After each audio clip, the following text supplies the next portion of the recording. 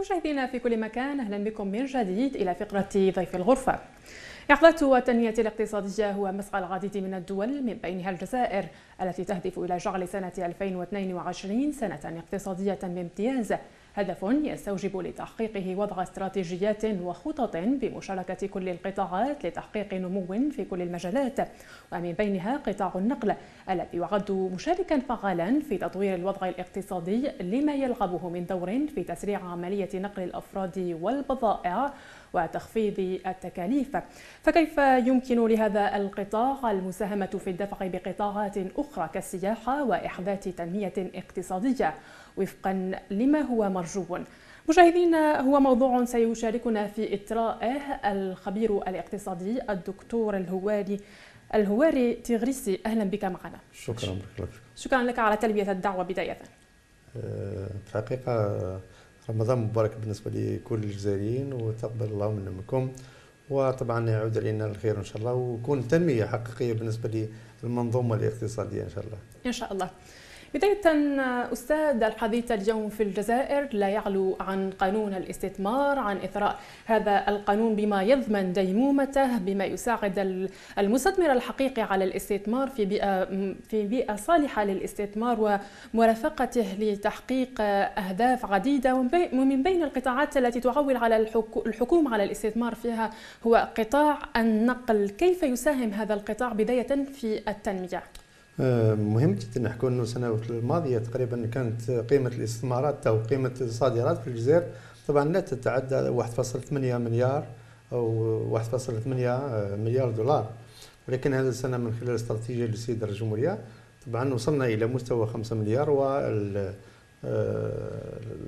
آه، من خلال طبعا سنة 2022 ممكن يكون طبعا 7 مليار دولار. ولكن هذا لا يتأتى بظل طبعا المشاكل الموجودة في قطاع النقل. نقل نعطيك آه، فقط رقم بسيط. بالنسبة للنقل البري فقط لا يمثل طبعا قيمة الجزائر إلا 3% وهذه إشكالية كبيرة بالنسبة لي لأنه شفنا من خلال طبعا كوفيد 19 ارتفاع الأسعار نتاعها ثلاث مرات وأربع مرات وخمس مرات وعشر مرات بالنسبة للنقل وطبعا ينبغي إذا حبينا نؤسس إلى منظومة اقتصادية حقيقية معناتها تكون عندنا خاصة إمكانيات فيما يخص وسائل النقل معناتها ضرب مش قلت إنه 100% آه، ولكن على الأقل ننتقل من 3% إلى 10% إلى 20% وهنا خليني نقول لك إنه آه، لابد في آه، إيجاد أو فتح المجال بالنسبة للقطاع الخاص. لما لا؟ لأنه هناك طبعا هناك أصحاب المال في الجزائر ويمكن طبعا الاستثمار في في هذا القطاع. سواء بالنسبة البحر أو قطع الطائرات أو سواء بالنسبة لي آه، طبعا آه، سواء بالنسبة لي آه، كل الأساطيل اللي ممكن تكون نشوفها في المستقبل. اذا الاستراتيجية نتاعنا ما تعتمدش فقط على الإنتاج ولكن على عملية التسويق عملية النقل عملية إيجاد المصادر نتاع التصدير نتاعنا من خلال طبعا إيجاد الأسواق العالمية ولكن الأسواق العالمية هذه يجب طبعا أن نحضر معناتها سواء من خلال هذه القوانين الموجودة في الجزائر طبعا لازم تكون قوانين مسهلة وبالتالي إنه نلاحظ أنه بعض العراقيل موجودة لحد لحد اللحظة. طبعا في الموانئ وبالتالي آه لازم نسهل عملية طبعا التصدير مثل ما هو سهل عملية الاستيراد. لأنه بكل صراحة شاهدنا أنه في الجزائر مثلا لما تقوم بعملية الاستيراد آه، بسيطة مقارنة مع عملية التصدير. إذا لازم ندعم بشكل كبير بالنسبة لي طبعا آه، عنصر التصدير في المستقبل ونوفر طبعا مناخ بهذا القطاع لأنه راح يدخلنا آه، قيمة ودخلنا عملة صعبة بالنسبة للجزائر الجزائر تهدف إلى تنويع الاقتصاد نتاعها من خلال قطاعات متعددة ولكن بالمقابل لازم نحسن كل ما يرتبط بما يخص العملية نظن أنه نعم. قطاع النقل هو من أولى اللي شفناه أنه قرار السيد رئيس الجمهورية كان خذ قرارات مهمة في مجلس الوزراء منها مثلا 15 طائرة بالنسبة للخطوط الجوية ومنها كذلك في قطاع البري كذلك راح يمكن استيراد عدة بواخر في المراحل القادمة. الهدف منه دائما هو نقل طبعا آه، نقل السلع ولكن نقل كذلك الأشخاص والولوج. طبعا السيد رئيس الجمهورية كان ركز على نقطة مهمة الولوج إلى إفريقيا. هذا كيف نعم. يمكن أنه نحكوا نعم.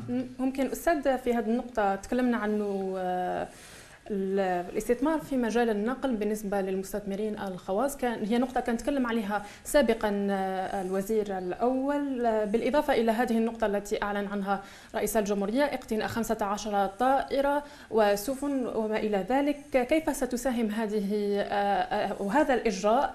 يعني في جعل الجزائر ممكن نقطة لتلاقي يعني نقطة لتلاقي التجارة نشوف لازم نوضح الصورة بكل صراحة لأن هناك صورة ضبابية بالنسبة للمستثمر خاصة في هذا القطاع. لاحظنا هناك طلب ولكن بكل صراحة ما كانش شفافية فيما يخص هذا القطاع. كيفية تسيير القطاع كيفية طبعا مساهمة بالنسبة للفرد كيفية طبعا المنافسة لما نشوف تقول لي ممكن القطاع الخاص يستثمر في الجزائر. في هذا ولكن لحد اللحظة ما ماش الصورة ماش واضحة. في ينبغي طبعا إيجاد دفتر شروط بنفس الطريقة اللي نحكوا على قانون الاستثمار. واللي شفنا إنه ألغي تقريبا ثلاث مرات الهدف منه إيجاد قانون استثمار في الجزائر. طبعا يشوف يعتمد على رقمنه إعطاء طبعا آه، أكثر آه، محفزات بالنسبة للمستثمر جذاب بالنسبة للمستثمر. السيد الجمهورية رأى إنه هذا القانون ما زال ما وصلش إلى المستوى. بنفس الطريقة طبعا يجب طبعا إيجاد قوانين بسيطة بالنسبة للاستثمار لأنه مش الاستثمار المحلي حتى الاستثمار الأجنبي. وعلاش؟ لما لا؟ طبعا لا نستقطب الاستثمار الأجنبي فيما يخص طبعا سواء النقل الجوي أو النقل البحري.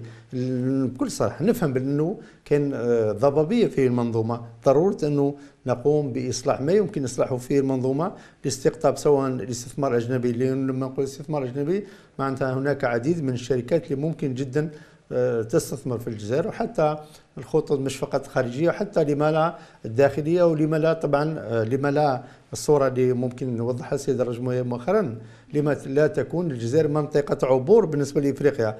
هنا كان السيد الجمهوريه مثلا حكى على نعاود نذكر الفكرة هي آه، كمطار مهم بالنسبة لتامن راصد يكون مركز عبور بالنسبة لإفريقيا وبالنسبة لأوروبا هذه النقطة مهمة يجب طبعا اعاده هذه النقطة وإدراج هذه النقطة في المشاريع المستقبلية. يمكن خلينا نتكلم في هذه النقطة بتحديد بيان رئاسة الجمهورية كان أشار إلى دول إفريقية ودول آسيوية. يعني وإحنا يعني الجزائر معروف أنه عندها جالية كبيرة في أوروبا في أوروبا، ما هو المغري اليوم في السوق الإفريقية والآسيوية؟ أه لما نحكي على السوق الإفريقية من غير ما نقول أنه علاقات الجزائر قوية بالنسبة للفارقة. وطبعا شفنا أنه الثقة اللي موجودة في الجزائر وشفنا أنه سواء بالنسبة للاتحاد الإفريقي سواء بالنسبة للبرلمان الإفريقي وطبعا الثقة اللي يتمتع بها الدبلوماسية الجزائرية في إفريقيا كيف لا يمكن ترجمة هذه العلاقة إلى علاقات اقتصادية من خلال طبعا آه، من خلال مثلا النقل. معناتها أنه يمكن من خلال النقل من خلال طبعا توفير شبكة بالنسبة للنقل الهدف انه هو إيجاد شراكة بين الجزائر وبين دول الافريقيه لأنه آه، لما نشوفوا ذلك مؤخرا اللي هي المنطقة الإفريقية طبعا أو منطقة الحرة الإفريقية تقريبا عندنا أكثر من سنة وسنتين من مضينا اتفاقية ولكن عمليا اقتصاديا استثماريا ما زلنا تقريبا غايبين على على, على الواقع. وبالتالي آه، نظن هذه الانطلاقة الحقيقية بالنسبة للطائرات لما تكون عندك على الأقل اتصالات مباشرة لما عندك وفود آه، بالنسبة لإفريقيا تجي الجزائر بالنسبة للجزائر تروح تستثمر كذلك في إفريقيا بالنسبة لإفريقيا ممكن تستثمر في الجزائر ويكون تبادلات طبعا مش فقط تبادلات من خلال اللقاءات اللي موجودين كل كل شهور نشوفوا طبعا لقاءات بين الفريق والجزائر ولكن واقعيا لما تشوف قيمة المبادلات بين إفريقيا والجزائر تشوفها ضعيفة. وبالتالي إنه آه، حتى إفريقيا آه، الفكر الجديد اللي موجود وخلينا نقول لك الفكر التحرري اللي عند الإفريقيين حابين يتعاملوا جنوب جنوب من خلال التبادل فيما يخص السلع من خلال التبادل فيما يخص الثقافات فيما يخص في كل الأمور ولكن ضروري أنه نستغل هذه الفرصة بكل صراحة. الفريق ينتظروا في الجزائر إنه تبادر لأنه إمكانيات الجزائر ومستوى الجزائر و حتى حتى لما نحكي على قيمة معناتها القيمة المالية اللي موجودة في الجزائر والاستثمارات اللي موجودة في الجزائر. ممكن طبعا الجزائر كعنصر ثقة في لهذه الدول. ما من غير المعقول مثلا إنه لما نستثمر في المراحل السابقة في في في في دولة مثل الدول اللي قريبة منا آه، ولا مثلا في ليبيا. لما تشوف ليبيا أنه الاستثمار في ليبيا مؤخرا تم التوزيع مثلا بالنسبة للاستثمارات في ليبيا ودور الجزائر طبعا اين في في ليبيا. هذه هي أنه ضروري إن نحكي على موريتانيا كذلك. ما زلنا طبعا المحتشمه أو التبادلات المحتشمه ما بيننا وما بين موريتانيا. ضروري نكثف هذه العملية ونفتح المجال حتى للاستثمار الوطني.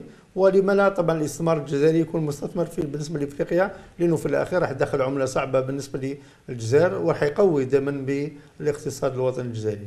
نعم أستاذ ونحن نتكلم اليوم عن أهمية النقل. نحن مقبلون على شهر أو على فصل آه، الصيف. البعض يتكلم عن إمكانية إنعاش السياحة في هذه المرحلة مع شراء 15 طائرة.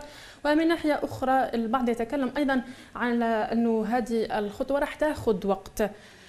وأيضا راح يجب أن تكون متبوعه من مجموعة من الإجراءات يعني آه، زيادة في المدرجات في اعتقادك آه، كم ستدوم يعني مدة اقتناء الطائرات؟ نظن الاختصاص أدرى ولكن حتى إذا كانت توفر الطائرات شفنا أن المراحل السابقة كانت طبعا تدخل ل كل المؤسسات الأجنبية ولكن دور المؤسسات الوطنية كان ضعيف لما نشوفوا اير فرانس لما نشوفوا آه، طبعا الإماراتية و... وأين دور طبعا الجزائر؟ حاجة أخرى ضروري نتكمل نتكلم على الأسعار لأنه السيد رئيس الجمهورية كان ركز عليها نعم. وتعطى آه، تعليما لتخفيض الأسعار لأنه لازم تكون أسعار طبعا متنافس. وهذه الإشكالية بالنسبة للعائلات الجزائرية الموجوده في أوروبا واللي عنده طبعا أربع أطفال أو ثلاثة أطفال فين السنة اللي يحسب القيمة نتاعو. ب 10 ملايين مثلا آه، في الأخير يلقاها في 50 أو 60 مليون. ما يقدرش يسافر حتى الأرض تاعو حتى اللي طبعا الدولة نتاعو. وبالتالي إنه السيد رئيس الجمهورية خذ قرار بطبعا الأسعار تكون طبعا الأسعار تنافسية وتكون تخفيضية بالنسبة للمغتربين في المراحل القادمة لاستقطاب هذا المدن لأنه علاش؟ آه لما نستقطب مغتربين على الأقل يكون عنده حيوية ويكون عنده يحس بهذيك ال ال خلينا نقول الوطنية نتاعو. نقطة ثانية ممكن أنه يشوف حلول بالنسبة للجزائر. نقطة ثالثة ممكن يستثمر في الجزائر. نقطة رابعة ممكن يعود يحول الأموال تاعو كل سنة بالنسبة للجزائر. نعطيك مثال فقط بسيط. الجالية المصرية مثلا تحول تقريبا 35 مليار دولار سنويا. ولكن الجالية في الجزائر طبعا القيمة نتاعها ضعيفة جدا. رغم أنه دور الجالية والقيمة نتاعها في طبعا في أوروبا خاصة في فرنسا. ولكن ضروري أنه آه، نستقطب هذه الجالية. ضروري أنه آه، آه، نتفتح الجالية هذه باش يمكن أن تشوف بلادها وتعرف بلادها وبالاخير يمكن أنه تستثمر في بلادها وتحقق. طبعا تتحقق من خلال هذه الوطنية. يمكن أن تنتقل على أمور أخرى. وشفنا أنه الدليل أنه لما نشوف الفريق الوطني وشفنا طبعا المغتربين نعم. وحبهم للوطن ضروري أنه نعطي فرصة بالنسبة لكثير من المغتربين اللي هما حوالي 6 ملايين في فرنسا. مهم جدا هذا العدد نعم. اللي عايش في فرنسا. وطبعا هناك أثرياء وهناك صناعيين وهناك أصحاب فكر وأصحاب تكنولوجيا. ضروري أنه حتى المؤسسة الناشئة كذلك مؤسسة الناشئه الفكر اللي موجود في فرنسا. وطبعا كثير من الدول لأنه فرنسا طبعا بارزة في هذا الجانب. اذا كيف يمكن طبعا استقطاب المغتربين في كل الكفاءات سواء بالنسبة للمعرفة سواء بالنسبة للمال سواء بالنسبة للاستثمار سواء بالنسبة للدعم المحلي وحتى الجانب السياسي ممكن يشتغل في هذا نعم. الجانب. كنا تكلمنا عن استقطاب المغتربين ممكن بتخفيض الأسعار. أيضا نقطة مهمة جدا هي يعني تحسين الخدمات وجعلها خدمات يعني مطابقة للمعايير الدولية حتى تستطيع المنافسة دوليا واقليميا. مهم جدا ولكن باش تخضع المؤسسات على الخطوط الجزائرية للمنافسة ضروري تكون منافسة حقيقية مع كثير من الدول وهنا طبعا شفنا أنه الانغلاق اللي موجود وهو مش انغلاق حتى قضية الرقمنة بالنسبة للتذاكر هذه إشكالية يعني لما تروح اليوم يقول لك رقمنة موجودة ولكن الجهاز معطل. نعم. وممكن تولي حسابات واحدة. ضروري أنه نروح إلى رقمنة حقيقية وطبعا نعزز طبعا المنافسة بالنسبة للأسعار الطائرات ما عدا إذا كان عندنا إشكالية بالنسبة للداخل ندعم طبعا بالنسبة لسكان الجنوب من غير معقول إنه يدفع هذه الأموال. تحمل طبعا الخزينة هذا الجانب ولكن بالنسبة للخارج طبعا تكون بأسعار محررة بأسعار تنافسية وطبعا يقبل أو يقبل آه، لأنه على شكون اللي يدير المنافسة؟ لما يدخل لك المنافسه للجزائر. ولكن لما تقعد غارق على روحك عمرك ما تكون عندك منافسة. هذا هو. اذا كان في المراحل القادمة هو إشكالية بالنسبة لمؤسسة الخصوص الجزائرية. آه، عاجزه بعجز كبير. نظرا لوجود طبعا توظيف كثير عشوائي في المراحل السابقة. نتمنى أن تكون حركية في هذه المرحلة تكون منافسة وتكون طبعا كثير من المؤسسات الخاصه ممكن تمتص هذه العمالة. ويمكن أنه خلال سنة أو سنتين راح تكون طبعا هذه المؤسسة منافسة لدول واحدة أخرى منافسة لخطوط واحدة أخرى. من خلال ولكن على الأقل من خلال توفير طبعا طائرات من خلال طبعا تحديد التقنيات آه، الحديثة تحديد الرقمنات تحديد طبعا آه، كثير من الأمور يجب طبعا إصلاحها في هذا المنظار باش تكون عندنا طبعا خدمة آه، عمومية ولكن هذه الخدمة يجب أن تكون خدمة منافسة وطبعا لكثير من الدول لما لا؟ طبعا لما نشوفوا القطرية والإماراتية لما لا تكون طبعا في الخطوط الجزائرية مثل هذه طبعا الخطوط. نعم أستاذ ممكن آه، اليوم أصبحنا ندرك أهمية آه، الاستثمار في النقل في هذا القطاع الهام. كيف يمكننا اليوم ونحن على أبواب تظاهرة كبرى هي ألعاب البحر الأبيض المتوسط الاستثمار في هذه آه، الألعاب يعني لاكتساب مداخيل تعود على الاقتصاد الوطني بالمنفعة؟ نعم ما نتصورش أنه المداخيل تكون من خلال الألعاب. ضروري أنه ننفق في خلال نعم. الألعاب. لاستقطاب طبعا آه، خلينا نقول لك لاستقطاب الأنظار كل أنظار العالم. باش نعطي صورة جميلة بالنسبة للجزائر نعطي طبعا كذلك صورة سياحية للجزائر ونعطي كذلك نبرز آه، نبرز أو نعرض ما هي المنتوجات اللي موجودة في الجزائر. هذه فرصة تاعنا لأنه تقريبا ما راحش يكونوا كلهم رياضيين ولكن رجال الأعمال راح يكونوا بكثرة. إذا عرفنا كيف يمكن استقطابهم إذا وفرنا الفنادق إذا وفرنا النقل إذا وفرنا كثير من الأمور ولكن هذه هي ميزة راح تعطينا في المراحل القادمة استقطاب طبعا للسواح للمستثمر. لكثير من الأمور اللي ممكن تعود الايجاب بالنسبة للجزائر في المراحل القادمة. نعم ممكن شراء 15 طائرة بالنسبة إلى الخطوط الجوية الجزائرية، هل هل سيزيد يعني من تواجدها في السوق الجزائرية؟ آه، في السوق الجزائري نعم وهل هو يعني متناقض مع السوق الجزائري نعم ولكن السوق الدولي لا لأنه لاحظنا أنه آه، مثلا مؤخرا آه، النظام القطرية والإماراتية تقريبا شرت نعم. أكثر من 100 طلبت أكثر من 100 طائرة. اذا هذه مرحلة أولى جميلة جدا. نرتقي في المراحل القادمة أنه هذه المؤسسة طبعا آه، نهوض بهذه المؤسسة. لأنه هذه المؤسسة؟ خاملة بكل صراحة.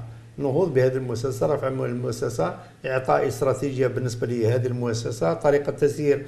طبعا حتى لي بكل صراحة آه، كان إشكالية فيما يخص عملية التسيير معناتها لازم تكون عندنا new management طريقه حديثة بالنسبة للتسيير باش تعطينا نعم. حلول في المستقبل إذا كان عمال بكثرة ضروري إنه نلقى حل للعمال هذا ضروري إنه نوزع مثلا العمال هذو على الشركات خاصة بالمراحل القادمه ضروري إنه نلقى حلول ولكن بالنسبة للمؤسسة وبالنسبة للجزائر وبالنسبة للفرد الجزائري نعم. تعود بالمنفعة إذا كان طبعا نبقى سلبي بهذه الطريقة أكيد تقريبا بنفسها بنفس طريقة أو طريقة الشركات اللي موجودة لما نشوف شركة آه، الصرف بالنسبة لي عنابه لما نشوف عود كثير من الشركات العمومية اللي طبعا تعاني منها الجزائر وقاعدة دائما في دعم. نظن الحل تاعها في المراحل القادمة إذا هذه المؤسسات ما هيش في نفس المنا ومش عندها ما عندهاش قدرة طبعا المنافسة وتقعد تعتمد على دعم الدولة في في عدة سنوات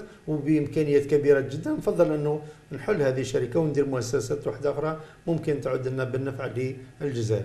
نعم أستاذ اليوم آه، يعني نلمس نوع من الرغبة في تطوير قطاع النقل في الجزائر ولإحداث تنمية اقتصادية في اعتقادك ما هي الخطوات التي يجب أن يتم اتباعها مستقبلا لإحداث ما هو مرجو؟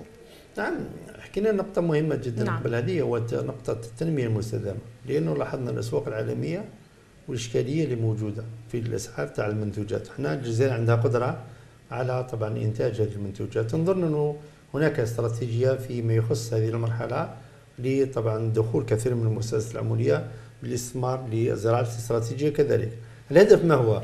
الهدف طبعا هو توفير حماية بالنسبة للجزائر بنفس الطريقة لأنه حتى النقل ولا يمثل إشكالية. وشفنا أنه الخلل اللي كان موجود في المراحل السابقة وشفنا البارونات اللي كانت موجودة في المراحل السابقة. إذا لازم تكون عندنا استراتيجية تنموية شفافه فعالة من خلال طبعا تنمية هذا القطاع لأنه يمثل فاتورة كبيرة بالنسبة لي آه، سواء المستوردين سواء بالنسبة للجزائر. ولكن بالمقابل يمثل فاتورة بالنسبة للمواطن. الأثر تاعو بالنسبة للمواطن. دوكا نشوف المنتوج كان يسوى مثلا 10 دينار. اللي أنا راه يسوى تقريبا 20 20 دينار. علاش؟ لأنه الإسعار النقل بالنسبة للعالم كلها تغيرت والأثر تاعو كان مباشرة للمواطن. ضروري أنه نخلق ما دام عندنا إمكانيات الحمد لله مالية للجزائر هذه السنة ونرتقب إن شاء الله السنة الجاية كذلك.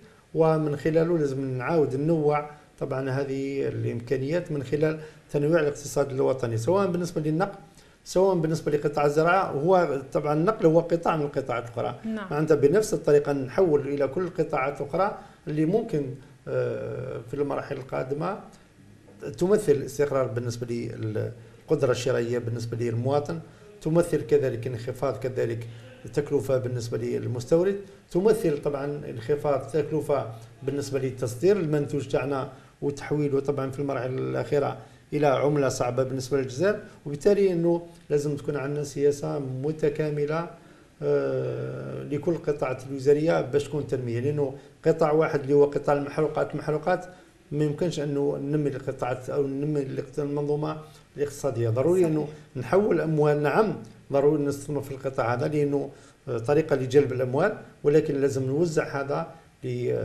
باش نبحث على دخل على المدى القصير والمتوسط على المدى الطويل. هناك عدة مشاريع طبعا اقتصادية من بينها طبعا القطاع النقلي الحمد لله أنه السيد رئيس الجمهورية خذ القرار الصحيح في مجلس الوزراء وخذ طبعا كثير من القرارات في هذا الجانب. وشفنا أنه النظره آه، نتاعو طبعا النظره القريبه بالنسبة للسيد الجمهورية كيف يمكن حل حالة المشكل النقل بالنسبة للجزائر في المراحل القادمة.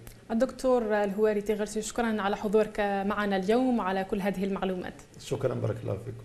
مشاهدينا إلى هنا أصل اياكم إلى ختام فقرة ضيف الغرفة من غرفة أخبار قناة البلاد بقيت فقراتنا متواصلة لكن بعد هذا الفاصل.